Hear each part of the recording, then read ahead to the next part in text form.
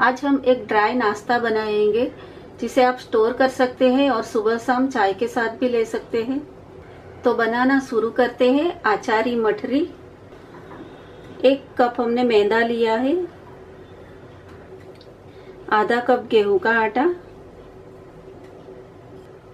Two tablespoon बेसन, चने का आटा। टू टेबलस्पून कैरी का छुंदा। ये आचार मीठा रहता है, ये मैंगो छूंदा, इसे कई लोग घर में बना के रखते हैं।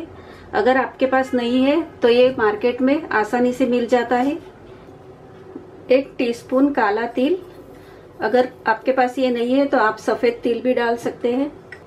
एक टीस्पून धनिया जीरा पाउडर। दो टीस्पून लाल मिर्ची पाउडर। आधे टीस्पून हल्दी पाउडर। वन फोर टीस्पून हींग। एक टेबलस्पून तेल मिक्स कर लेंगे।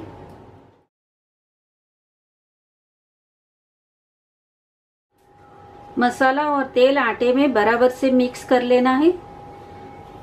इस तरह से थोड़ा थोड़ा पानी डाल के आटा गूंद लेंगे।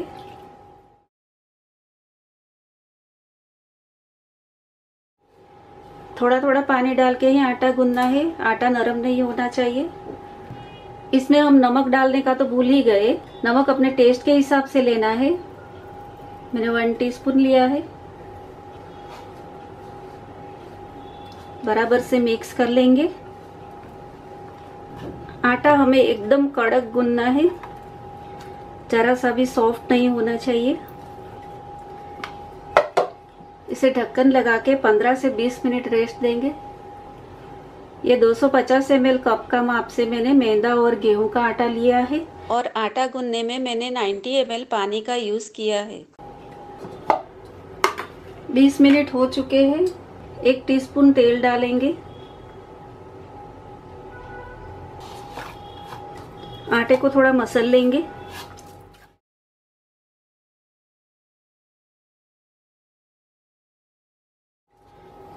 एक मिनट हमने अच्छे से मसल लिया है इसे। इसकी एक बड़ी सी लोई तोड़ लेंगे।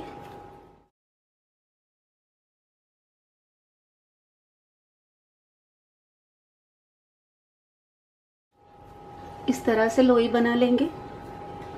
इस आटे के ऊपर ढक्कन लगा के रखेंगे, नहीं तो ये ड्राई हो जाएगा। एक बड़ी रोटी बेल लेंगे।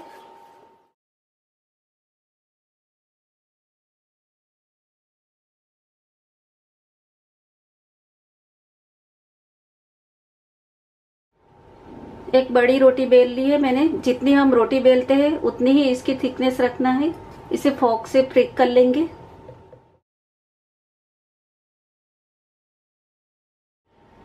मैंने ये कुकी कटर ली है। इसे हम इसकी पूरिया कट कर लेंगे। आपके पास ये नहीं है तो आप कोई भी वाटी या कुछ भी, डब्बे का ढक्कन भी आप ले सकते हैं। मैंने ये कट कर ली है। इसे हम निकाल लेंगे।